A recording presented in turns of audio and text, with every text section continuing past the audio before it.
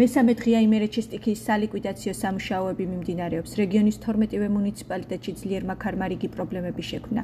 ამ დროის მონაცემებით 300-მდე შენობის სახურავი არის დაზიანებული. 125 სოფელს არ მიეწოდება ელექტროენერგია, ასევე შეზღუდულია ბუნებრივი აირის მიწოდება. გარდა ამისა, მუნიციპალიტეტში წაიქცა მრავალწლოვანი ხეები. იმერეთში სახელმწიფო რწმუნებული არსებულ მდგომარეობას ადგილზე ეცნობა და შესაბამის ღონისძიებებს მერებთან ერთად ატარებს. იმერეთის 12-ვე მუნიციპალიტეტში ამოქმედებულია ცხელი ხაზი, ასევე შექმნილია სპეციალური სოციალური ჯგუფები, რომლებიც აწარმოებენ ზარალის დათვლას.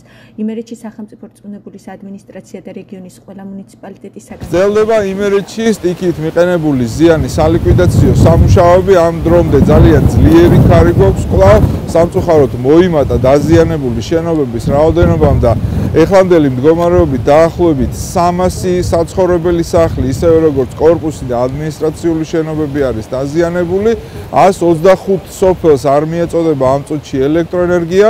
არის რამოდენიმე მუნიციპალიტეტი, სადღაც 14 ჯამში უბანი გვაქვს კატიშვილი, თუმცა როგორც ხედავთ, სამუშაოები მთლიანად თელი იმერეთის რეგიონში მიმდინარეობს და ჩვენ შევეცდებით, რომ მაქსიმალურად მოკლე დროში აღმოვფროთ ყველა ის ზარალი, რაც მიაყენას იქია.